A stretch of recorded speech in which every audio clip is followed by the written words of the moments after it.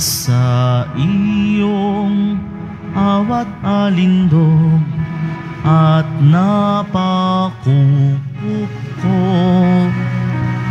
ituro mo inang mahal matuwid na daan. Lagi kaming magdarasal ng rosaryo mong mahal.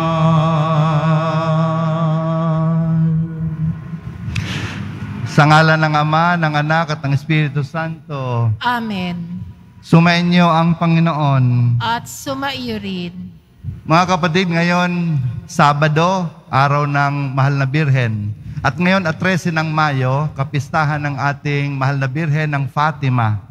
Ang mensahe ng Fatima ay conversion, offering at reparation.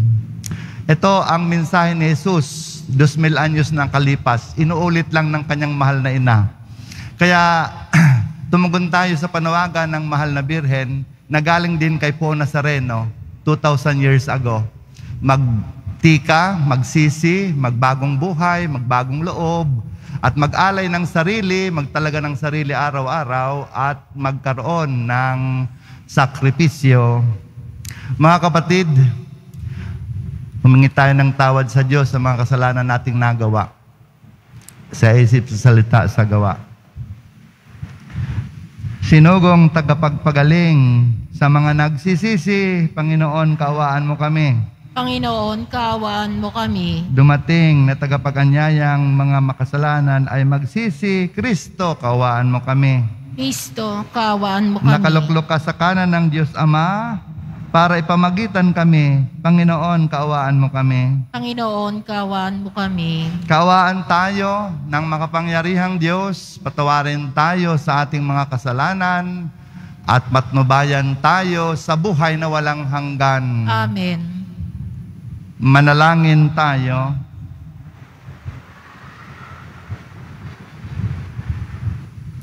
Ama naming makapangyarihan, niloob mong lumigaya ang buong mundo sa pagkabuhay ng iyong anak na Panginoon naming Heso Kristo.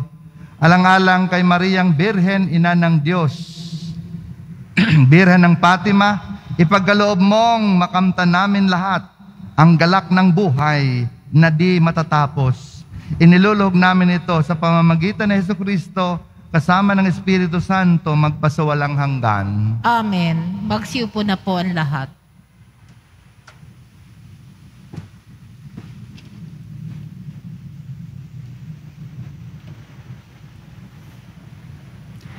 Pagbasa mula sa mga gawa ng mga apostol. Noong mga araw na iyon, nagpunta si Pablo sa Derby at Listra at may isang alagad doon na ang pangalay Timoteo, anak ng isang mananampalatayang Hudiya at ng isang Griego. Pinatunayan ng mga kapatid sa Listra at sa Ikonyo na mabuting tao si Timoteo. Ibig isama ni Pablo si Timoteo, kaya tinuli niya ito sapagkat alam ng lahat ng Hudyo sa lungsod na iyon na Griego ang kanyang ama. Sa bawat lungsod na kanilang dinalaw, ay ipinaalam nila sa mga kapatid ang pasyan ng mga apostol at matatanda sa Jerusalem at iniutos na sundin iyon. Kaya tumibay sa pananampalataya ang mga kaanib ng bawat simbahan at dumarami ang bilang ng mga alagad araw-araw. Naglakbay sina Pablo sa lupain ng Prihia at Galacia sapagkat sinansala sila ng Espiritu Santo na mangaral sa Asya. Pagdating sa hangganan ng Nisiya, ibig sana nilang pumasok sa Bitinia. Subalit, hindi sila pinahintulutan ng Espiritu ni Jesus. Kaya't bumagtas sila ng Misiya at nagtungo sa Troas. Kinagabihan, nagkaroon si Pablo ng isang pangitain. May isang lalaking taga Macedonia, nakatayo at namamanhik sa kanya. Tumawid po kayo rito sa Macedonia at tulungan ninyo kami. Pagkatapos ng pangitaing ito, gumayak kami agad sapagkat natanto namin kami tinatawag ng Diyos upang ipangaral sa Macedonia ang mabuting balita. Ang salita ng Diyos. Salamat sa Diyos. Purihin ng lahat ang Diyos, parangalan siyang malugod. Purihin ng lahat ang Diyos, parangalan siyang malugod. Umawit sa kagalakan ang lahat ng mga bansa. Panginooy papurihan, paglingkuran siyang kusa. Lumapit sa harap niya at umawit na may tuwa. Purihin ng lahat ang Diyos, parangalan siyang malugod. Ang Panginooy ating Diyos, ito'y dapat malaman. Tayo'y Kanya, Kanyang lahat. Tayong lahat na nilalang. Lahat tayo'y bayan niya, kabilang sa Kanyang kawan. Purihin ng lahat ang Diyos, parangalan siyang malugod. Mabuti ang Panginoon, pag-ibig niya'y walang hanggan. Siya'y Diyos na mabutit, laging tapat, kailanman. Purihin ng lahat ang Diyos, parangalan siyang malugod. Magsitayo po ang lahat.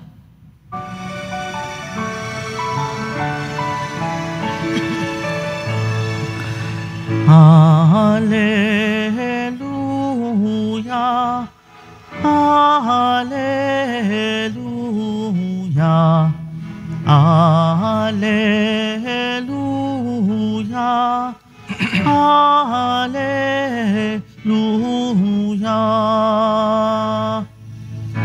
Kayong kay Kristo na buhay ay sa langit nakalaan upang kay Kristo pumisan.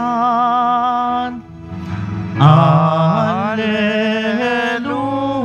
Hallelujah. Alleluia. Hallelujah.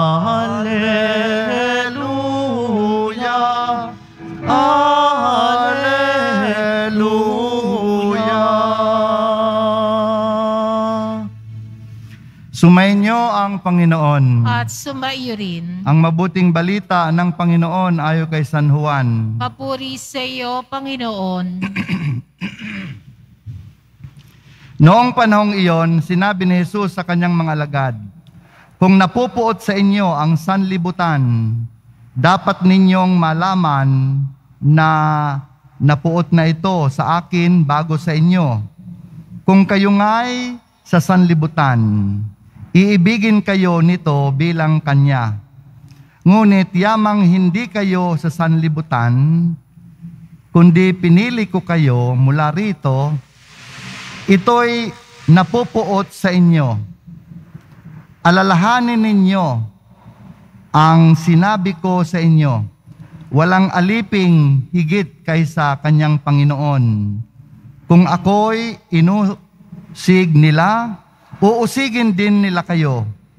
Kung tinupad nila ang aking salita, tutuparin din nila ang salita ninyo.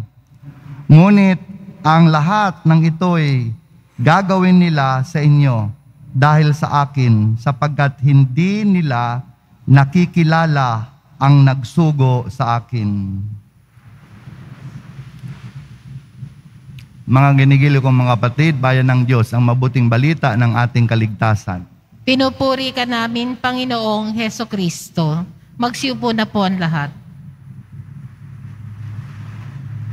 Mula sa Basilica Minor ng Quiapo, itim na Nazareno, bumabati ako sa inyong lahat. Naririto at sa mga masugid nating taga-subaybay sa buong mundo, sa buong Pilipinas, Luzon, Visayas, Mindanao, sa Kalakang, Maynila, ng maligayang araw ng Sabado, kapistahan ng Nuestra Senyor ng Fatima. Maligayang kapistahan sa Fatima, mahal na Birhen. Ayan. Palakpakan ng mahal na Birhen. Mga kapatid, ang mahal na Birhen ng Fatima, o ang mahal na ina, ang Birhen Santissima, ay nanay ni Jesus po Nazareno. Nagmula sa kanya ang pong Nazareno, siyam na buwan, inilagi sa kanyang sinapupunan. Kaya magkaugnay silang dalawa, mag-ina. Oo. Uh, ugnay na ugnay sila. Kaya kung ano ang nais ng anak, ninanais ng ina sapagkat sila ay magkaugnay. Ang mensahe ni Jesus po Nazareno, 2,000 anyos na kalipas, ay iisa lang, pagbabago ng tao, pagbabalik loob ng tao sa Diyos, paghilom ng mga sugat na naranasan nito upang makapiling na ang Diyos sa kanyang buhay habang siya narito pa lang sa lupa. Kaya ang mahal na birhen ng Fatima, inuulit lang ito. Bakit hindi nakikinig ang mga Kristiyano Katoliko, mm, lalo na ang mga ihos-ihas ng Nazareno, ang mga deboto-debota ng Nazareno, ito ay paalala sa atin. Ang mensahe ng Fatima, sabi ko kanina, conversion, offering reparation. Bakit? ang ating buhay kristyano, ang buhay pananampalataya, ah, merong kalaban. Ano ang kalaban? Bakit wala tayong ah, kapayapaan? Sabi ng mahal na birhen ng Fatima. Sabi ni Jesus, bakit walang kapayapaan sa mundo, sa ating mga sarili, sa ating pamayanan? Eh sapagat meron tayong tatlong kalaban. Ang tawag dito ni Santo Tomas Aquino, implacable implacable enemies of the soul.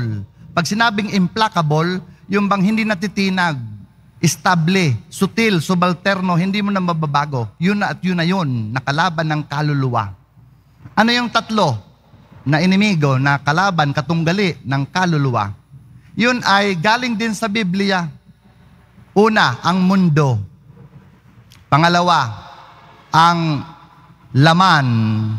Pangatlo, ang diablo, ang mundo. Sabi dito sa Ebanghelyo, kung napupuot sa inyo ang sanlibutan, dapat ninyong malamang puot na ito sa akin bago sa inyo. So ito ang kalaban ni Jesus. Sanlibutan, mundo. Anong makikita natin sa mundo? Ang mundo, ay walang pakialam. Deadma, patay malisya sa disenyo ng Diyos. Patay malisya, deadma sa pag-ibig sa Diyos at sa kapwa. Ang mundo, ang sanlibutan, ay walang pakialam sa pagsunod, sa pagtubad, sa kalooban ng Diyos, sa pagtupad sa kautusan ng Diyos. Wala silang pakialam. Makasarili sila. Kung ano ang gusto nila, yun ang nasusunod. Punong-puno sila ng mga kapritso. Yan. Mga tinatawag na laki sa layaw sila. Bakit ang mundo, ang focus, ang ego, I, myself, and me. Yun ang mundo, yun ang sanlibutan.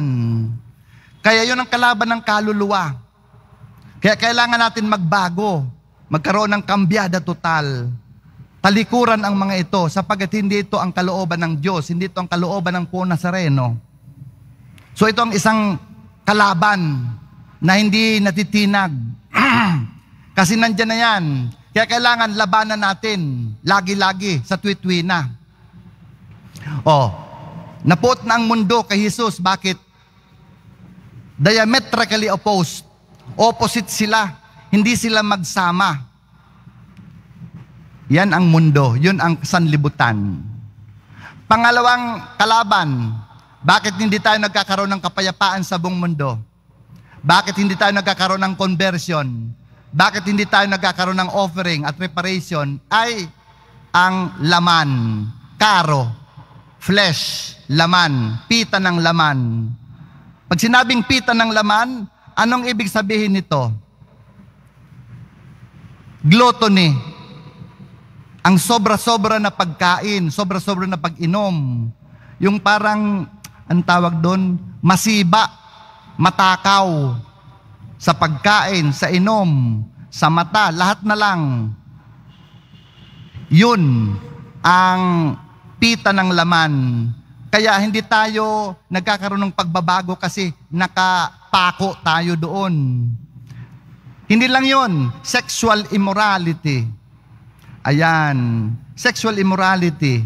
Marami ngayon, marami ngayon sa social media, matatanda, bata, babae, lalaki, o mga lalaki gusto kapwa lalaki, o manizing.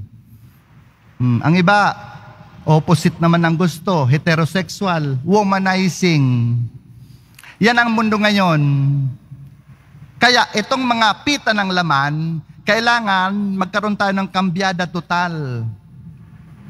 Ang mahal na birhen ng Fatima nagpakina sa tatlong bata. Pinakita niya ang impyerno. Doon sa impyerno, maraming tao doon. At doon, maraming nakita mga obispo, mga kaparian, mga reliyoso, reliyosa, mga madre, mga seminarista. Nandun sa impyerno. Bakit? More is given, more is expected. Sila pa naman ang binigyan, initasan na magturo ng moralidad. Pero sila hindi sumusunod. Oo.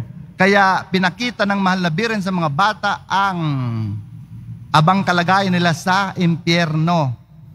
Oh, eh mga kaparian, mariloso, religyosa, eh kokonti lang sila, mas marami ang laiko.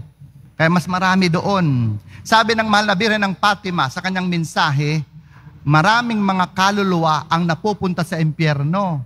Bakit? Sa pamamagitan ng kasalanan ng laman. Sexual immorality. Yan. Meron ako nabasa article si Dr. Gloria Polo, isang orthodontist na taga Bogota, Colombia. Mm-mm. Siya ay banidosa. Siya ay matanda na pero uh, masyadong partikular sa kanyang hugis, sa kanyang hitsura. Kaya uh, nagpapa-facial, nagpapa-botox, etc., etc., detox, etc., nagpapa-stem cell, etc. Kaya isang araw, kasama ang kanyang sobrino, pamangkin, sa isang sasakyan, ah, tinamaan siya ng kidlat at namatay sila lahat. Nasunog ang kanilang mga katawan. At nakita niya ang impyerno. Hinusgahan siya ng Panginoon ng impyerno. Nakita niya doon, oo, ang tatay niya, lasenggo, babaero, oo, abuser, sinasaktan ang mga anak niya, maliliit pa sila. Oo, ang dami niyang kulasisi. Nakita niya doon ang tatay niya, naliligo sa putikan. Alam niyang putikan? Mga sperm cell ang nakita niya. Sperm cell. Kung ilang sperm cell ang kanyang uh, nakonsumo, yun ang kanyang pinaliliguan sa impyerno. O ito ha, i-google ninyo. Totoo yan. Hindi ko yan invento. Bakit? Sins of the flesh. Ayan.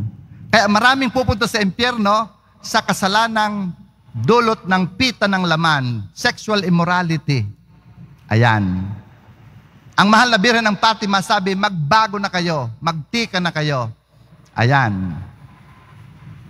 Pangatlong kalaban, uh, bakit hindi tayo nagkakaroon kapayapaan sa mundo?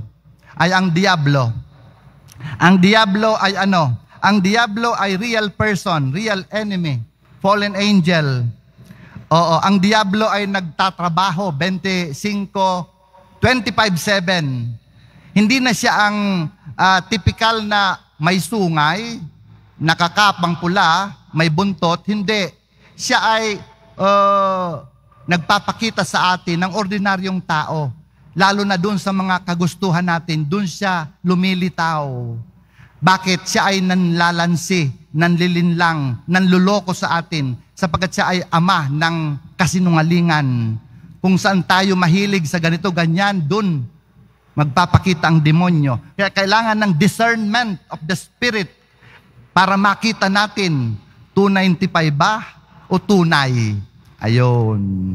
Kailangan natin ang discernment of Spirit kasi nag-a-appear siya ng uh, a creature of light to draw us to his uh, to himself because of his lies, because of his uh, Snares.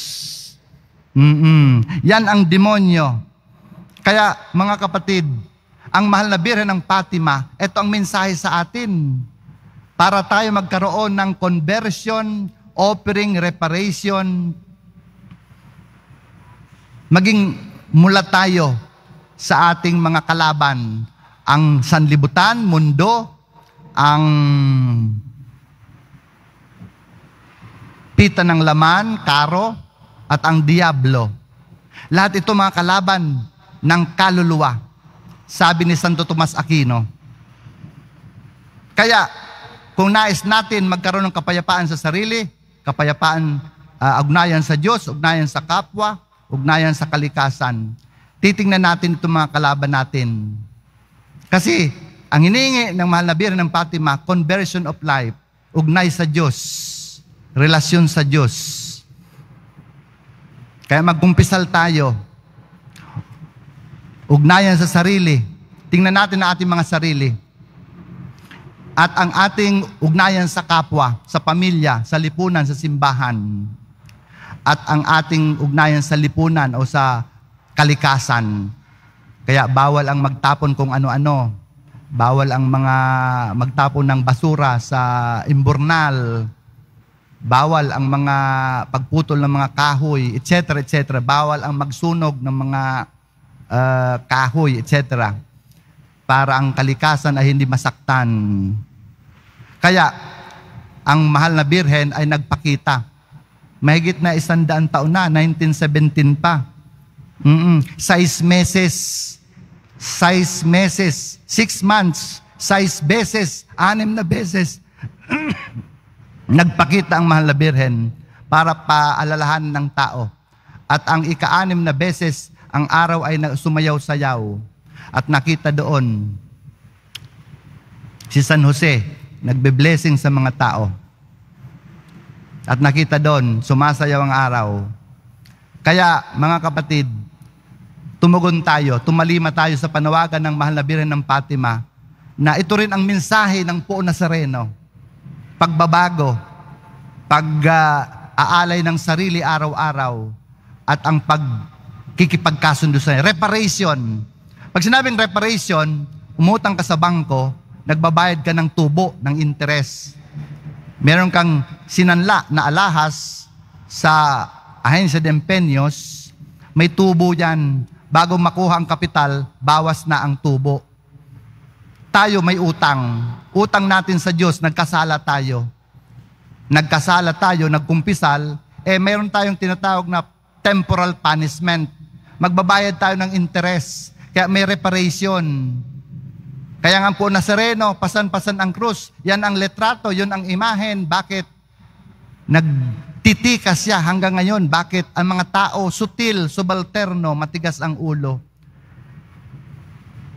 Ang po Nazareno, magiging masaya siya kung iiwan natin ang buhay kasalanan. Kung mamumuhay tayo bu- sa buhay biyaya. Kaya kung gusto ninyo maging masagana ang buhay, magkaroon ng pera. Sino gusto ng pera? Ayaw niyo ng pera? Ulitin ko, sino gusto ng pera? Ah, ako, konti. Kayo. Oh, ako gusto ko ng pera eh. Kasi maraming humingi ng tulong sa akin. Pera, anong pera? Prayer. Magdasal tayo. Ang mahal na Birhen ng Fatima, pitong Fatima prayers ang binigay sa atin. Seven Fatima prayers. Yan, memoryahin natin yan. Pardon prayer, angel prayer, reparation prayer, ano pa? Eucharistic prayer, decade prayer, sacrifice prayer, conversion prayer. Pito yun. Yun ang hiningi ng mahal na Birhen ng Fatima para magkaroon ng kapayapaan sa mundo. Magkaroon tayo ng pagbabago. Pangalawa, magkaroon tayo ng pera, Eucharist, mag-attend ng Mass. Magkumunyon, pero magkumpisal muna kung may mortal na kasalanan. O, pera. Pangapat, o pangatlo, ano, rosary, reconciliation, kumpisal, rosary. At ang pang-apat, adoration. Adoration, Eucharistic adoration. Kailan maglaan tayo ng panahon para pagnilay-nilayan ang katawan at dugo, katauhan kabanalan ni Jesus na nasa Santisimo Sakramento sa altar. Ito ang panawagan ng mahal na Birhen ng Fatima. Ito rin ang hinihingi sa atin ng po Nazareno. Samahan siya sa kanyang loneliness na nakalagay siya sa, sa Blessed Sacrament, walang dumadalaw sa kanya. Magkaroon tayo ng solitude. Ito, ang hinihingi ng mahal na Birhen ng Fatima para magkaroon tayo ng kapayapaan. At sabi ni Jesus, ang mundo pot na pot sa akin at kayo rin. Kaya kung kayo ay ah, deboto, debota ng po Nazareno, ihos, ihas ng po Nazareno, maglalaan kayo ng panahon, solitude, alone with Jesus in the Blessed Sacrament, kasama ang mahal na Birhen. Oo. Kaya sa misang ito, idulog natin sa mahal na Birhen ng Fatima na ilapit tayo sa po Nazareno na sundin natin ang kalooban ng po Nazareno. Pumasok tayo sa landas ng pagbabago, sa landas ng pag-aalay ng sarili araw-araw, at sa landas ng pagtitika, pagbabayad utang sa mga kasalanang natin nagawa. Mahal na Birhen ng Fatima, ipanalangin mo kami. San Jose, ipanalangin mo kami. Po Nazareno, iligtas mo kami. Amen. Magsitayo po ang lahat. Minamahal kong mga kapatid, inihandog sa atin ng Diyos ang kapayapaan ng pakikipagkasundo sa pamamagitan ni Jesus, ang mahal, ang anak ni Ma- Maria, ipanalangin natin na manatili sa atin ang kapayapaan. Diyos ng kapayapaan, basbasan mo kami. Diyos ng kapayapaan, babasbasan mo kami.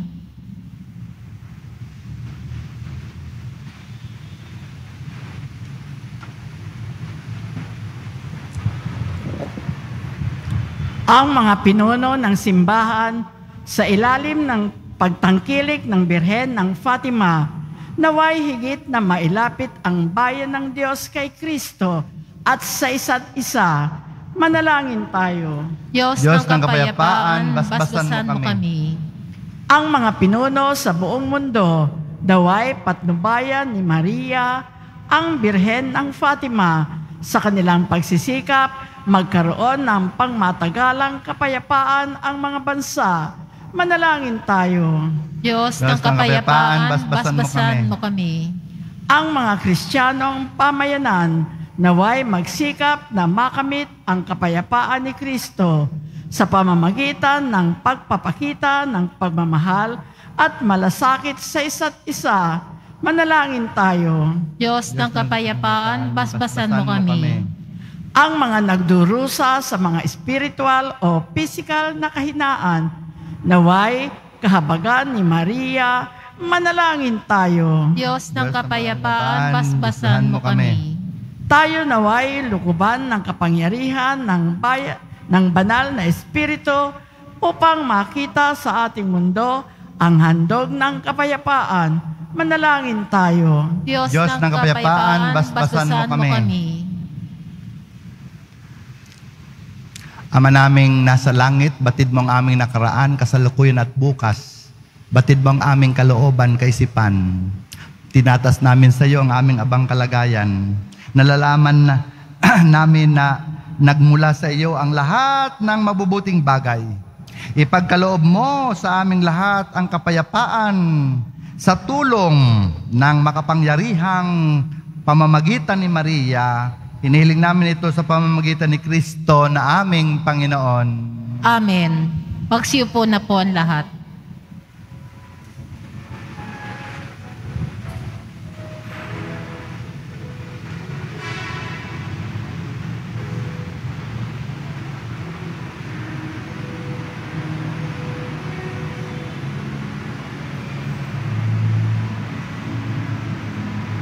Sa pagpapala mo at tanggapin ang alak na ito.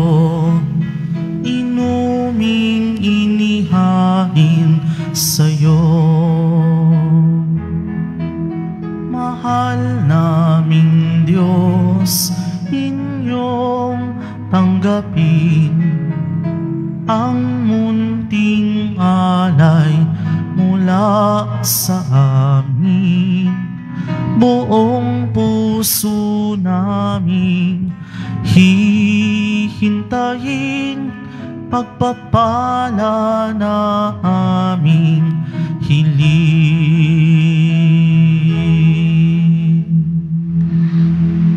Magsitayo po ang lahat. Mga kapatid, ang mesa ng Panginoon ay handa na po. Manalangin kayong lahat upang ang paghahain ko, paghahain ninyo ay kalugdan naman ng Diyos amang makapangyarihan. Tanggapin nawa ng Panginoon itong paghahain sa iyong mga kamay sa kapurihan niya at karangalan sa ating kapakinabangan at sa buong sambayanan niyang banal. Ama naming lumikha, sa aming paghahain ngayon, ang mahal na birhen ng Fatima ay ginugunita kami lahat ay humihiling na kami ay matulungan nawa ng iyong nagkatawang taong anak na naghain ng sarili sa krus na dambana at ngayon ay nabubuhay kasama mo at ng Espiritu Santo magpasawalang hanggan. Amen. Sumenyo ang Panginoon. At sumaiyo rin. Itaas sa Diyos ang puso at diwa. Tinaas na namin sa Panginoon. Pasalamatan natin ang Panginoong ating Diyos. Marapat na siya ay pasalamatan. Ama naming makapangyarihan, tunay ngang marapat na ikaw ay aming pasalamatan sa pamamagitan ni Yesu Kristo na aming ngayong pinaparangalan namin ang mahal na Birhen Maria, Birhen ng Fatima. Bukod mong pinagpala, sa babaeng lahat ang mahal na Birheng totoong mapalad na iyong piniling maging ina ng iyong anak. Noong sinugo mo siya bilang aming Mesiyas sa kapangyarihan ng Espiritong Banal, ang Birhen Maria ay naging inang tunay ng iyong anak na kanyang isinilang bilang liwanag nitong sanlibutan. Kaya kaisa ng mga angeles nagsiyawat ng papuri sa iyo ng walang humpay sa kalangitan, kami lahat ay nagbubunyi sa iyong kadakilaan. Santo, Santo, Santo, Panginoong Diyos ng mga hukbo, napupuno ang langit at lupa ng kadakilaan mo, o sana sa kaitasan, inagpala ang naparirito sa ngalan ng Panginoon, o sana sa kaitasan, magsiluhod po ang lahat. Ama naming banal, ikaw ang bukal ng tanang kabanalan, kaya't sa pamamagitan ng iyong Espiritu, gawin mong banal ang kaloob na ito upang para sa amin ay maging katawan at dugo ng aming Panginoong Heso Kristo. Bago niya pinagtiis ang kusang loob na maging handog, hinawakan niya ang tinapay, pinasalamatan kanya, Pinaghati-hati niya iyon, iniabot sa kanyang malagad at sinabi, tanggapin ninyong lahat ito at kanin. Ito ang aking katawan na ihahandog para sa inyo.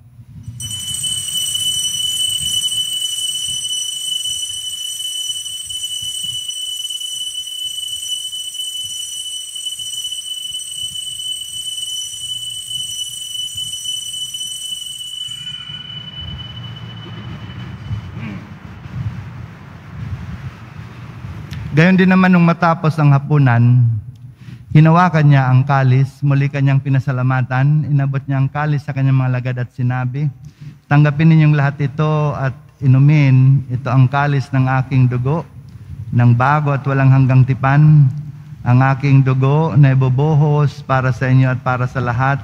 Sige, pagpapatawad ng mga kasalanan, gawin ninyo ito sa pag-alala sa akin.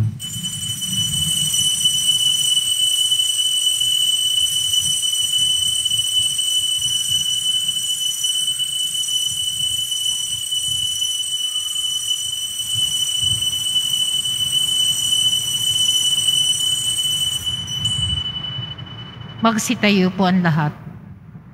Ang misteryo ng pananampalataya. Si Kristo'y namatay, si Kristo'y nabuhay, si Kristo'y babalik sa wakas ng panahon. Ama, ginagawa namin ngayon ang pag-alala sa pagkamatay at muling pagkabuhay ng iyong anak, kaya tinialay namin sa iyo ang tinapay nagbibigay buhay at ang kalis nagkakalob ng kaligtasan. Kami lahat ay nagpapasalamat dahil kami ay yung minarapat na tumayo sa harap mo para maglingkod sa iyo. Isinasamo namin kaming magsasalo-salo sa katawan at dugo ni Kristo ay mabuklod sa pagkakaisa sa pamamagitan ng Espiritu Santo.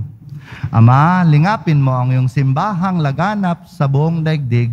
Puspusin mo kami sa pag-ibig kaysa ni Francisco na aming Papa, ni Jose na aming Obispo at ng Tanang Kaparian, mga reliyoso-reliyosa, mga madre, mga seminarista, at lahat ng mga laiko. Alalahanin mo rin ang mga kapatid naming nahimlay na may pag-asang sila'y muling mabubuhay. Gayon din naman lahat ng mga pumanaw. Kaawaan mo sila at patuloyin sa iyong kaliwanagan. Kaawaan mo at pagindapatin kaming lahat na makasalo sa iyong buhay na walang wakas. Kaysa na mahal Birhen Maria, nena ng Diyos, ka, isa ng kabiyak ng puso niyang si San Jose, kaysa ng mga apostol, ni San Juan Bautista, ang aming patron, at lahat ng mga banal na namuhay dito sa daigdig ng kalugod-lugod sa iyo, may pagdiwang nawa namin ng pagpupuri sa kararangal mo sa pamamagitan ng anak na aming Panginoong Heso Kristo. Sa pamamagitan ni Kristo, kasama ni Kristo at sa kay Kristo, ang lahat ng parangal, ang lahat ng papuri ay sa iyo, Diyos amang makapangyarihan, kasama ng Espiritu Santo, magpasawalang hanggan. Amen. Ang amen ay isang pagpapahayag natin na tayo sumasang-ayon, tumatalima, na magkakaroon tayo ng buhay pagbabago, buhay pag-aalay, at buhay pagtitika, pagbabayad utang sa kasalanan. At ito ay ang mga pangako natin sa binyag. Sa binyag, naging mga anak tayo ng Diyos. At bilang mga anak ng Diyos, may karapatan tayo tumawag sa Kanya bilang Ama. Kasama ng po Nazareno, dudulog tayo sa Diyos. Ama namin, sumasalangit ka, sambahin ang ngalan mo, mapasa amin ang kaharian mo. Sundin ang loob mo dito sa lupa para nang sa langit. Bigyan mo kami ngayon ng aming kakanin sa araw-araw at patawarin mo kami sa aming mga sala para ng papapatawad namin sa mga nagkakasala sa amin. At huwag mo kaming ipahintulot sa tukso at iadya mo kami sa lahat ng masama. Hiniling namin na kami adya sa lahat ng masama. Iadya sa sanlibutan. Iadya sa lahat ng mga pita ng laman. Iadya sa mga patibong ng demonyo. Pagkalooban kami ng kapayapaan araw-araw. Iligtas sa kasalanan. Ilayo sa lahat ng kapahamakan samantalang aming pinananabikan ang dakilang araw ng pagpapahayag ng tagapagligtas naming sa Yesu Kristo. Sapagkat iyo ang kaharian at ang kapangyarihan at kapurihan magpakailanman. Amen. Panginoong Heso Kristo, sinabi mo sa iyong mga apostol, kapayapaan ang iniiwan ko sa inyo. Ang aking kapayapaan ang ibinibigay ko sa inyo. Tunghayan mo ang aming pananampalataya at huwag ang aming pagkakasala. Pagalooban mo kami ng kapayapaan at, pag- at pagkakais sa ayon sa iyong kalooban, kasama ng Espiritu Santo, magpasawalang hanggan. Amen. Ang kapayapaan ng Panginoon ay laging sumainyo. At sumaiyo rin. Taglay ang mga ngiti sa ating mga labi, kasiyahan sa ating mga puso, magbigayan tayo ng kapayapaan sa isa't isa. Kapayapaan sa inyo, kapayapaan. Kordero ng Diyos na nag-aalis ng mga kasalanan ng sanlibutan, maawa ka sa amin. Kordero ng Diyos na nag-aalis ng mga kasalanan ng sanlibutan, maawa ka sa amin. Kordero ng Diyos na nag-aalis ng mga kasalanan ng sanlibutan, ipagkaloob mo sa amin ang kapayapaan. Magsiluhod po ang lahat. Mga kapatid, ito si Jesus, ang anak ni Maria. Siya ang kordero ng Diyos. Siya ang nag-aalis ng kasalanan ng sanlibutan. Mapalad tayong lahat tumanggap sa kanyang piging. Panginoon, hindi ako karapat dapat na magpatuloy sa iyo, ngunit sa isang salita mo lamang ay gagaling na ako.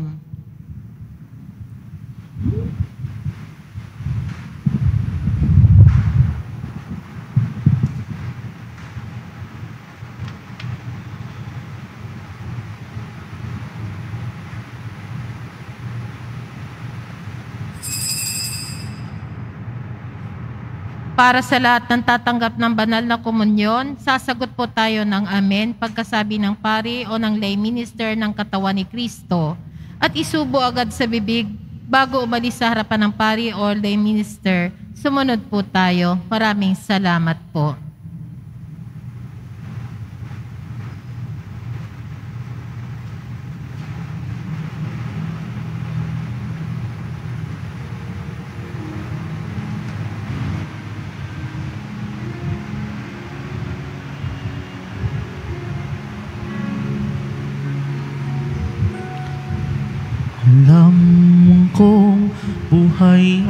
Panginoon Tinalo niya't ginapi ang kamatayan Punasan ang iyong luha sa mata at magsaya Manalig kang buhay ang Panginoon.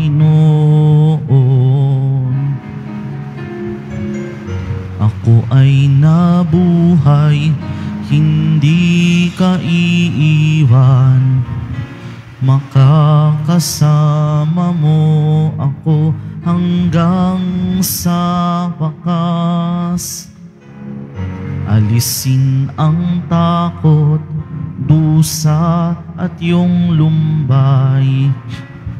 Puso mo'y iyong itiwasay. Alam kong buhay ang Panginoon. Tinalo niya't ginapi ang kamatayan. Punasan ang iyong luha sa mata at magsaya. Manalig kang buhay ang Panginoon.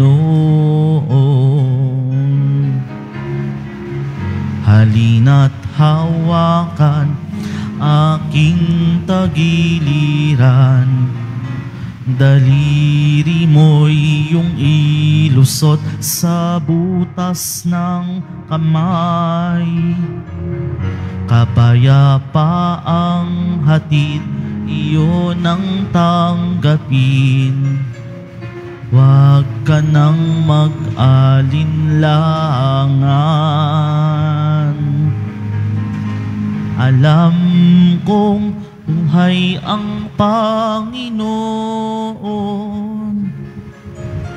Tinalo niya't ginapi ang kamatayan. Punasan ang iyong luha sa mata at magsaya. Manalig kang buhay ang Panginoon.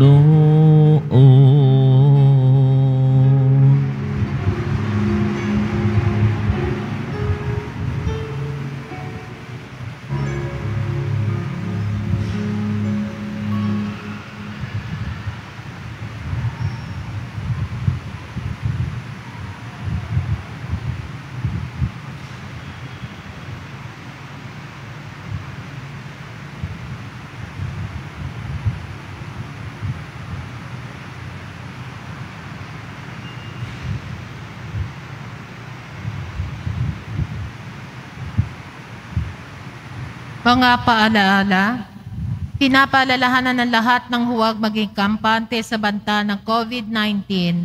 Bagkos, dapat natin ipagpatuloy ang tamang pagsunod sa minimum health public standards, pagsusuot ng tamang face mask. Pagkatapos ng misa, wiwisikan po ang lahat ng banal na tubig. Pinakikiusapan ng lahat na manatili lamang muna sa inyong mga lugar Tanging sa Quezon Boulevard o sa Plaza San Juan lamang ang labasan ng lahat. Sumunod po tayo. Maraming salamat po sa inyong pagdalaw at pagsisimba sa Basilica Minor na itim na Nazareno.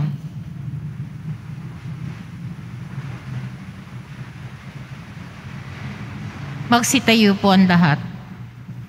Manalangin tayo.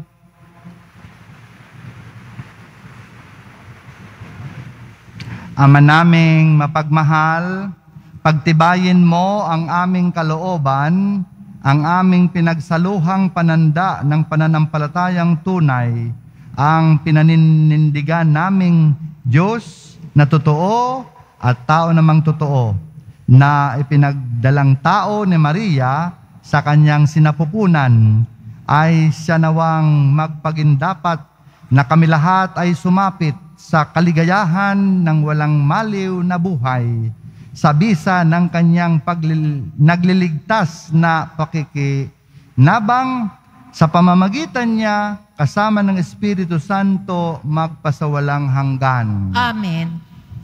Bago ang pagbabasbas, nais kong ulitin ang paalala ng mahal na Birhen ng Fatima na magkaroon tayo ng kapayapaan sa mundo, magkaroon tayo ng conversion, pagbabago, buhay, offering, pag-aalay ng araw-araw ng ating sarili sa Diyos at reparation, pagbabayad utang, mortification.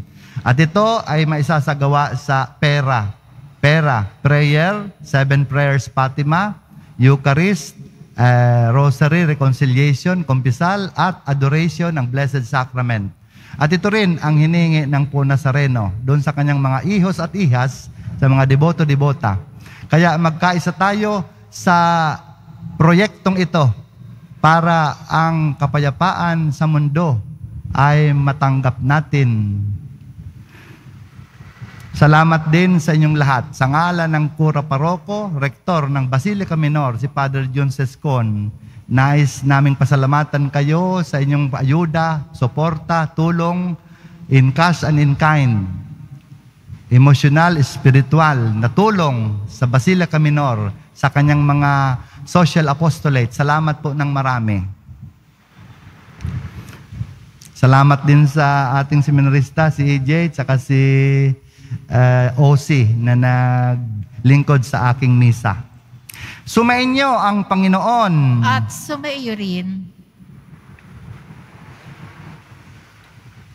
Mahal na pong Nazareno, inihahayag mo sa pamamagitan ng krus ang walang maliw na pag-ibig ng Diyos sa sangkatauhan.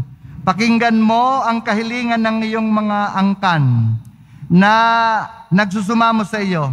Makamtanawan nila ang inyong katugunan at tanggapin ang kasagutan na may utang na loob na tinatanaw.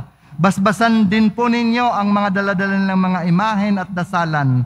Sa pamamagitan ng bendisyon na ito, naway maalala nila ang pangako nila noon sa binyag na ikaw ay kanilang iibigin at paglilingkuran bilang Panginoon magpasawalang hanggan. Amen. At pagpalain kayo ng mga pangyarihang Diyos, sampu ng mga mahal niyo sa buhay, saan man sila naroon ang Ama, ang Anak, at ang Espiritu Santo. Amen. Tapos na ho ang misa, humayog ang taglay, ang kapayapaan ng poong Jesus Nazareno. Salamat sa Diyos.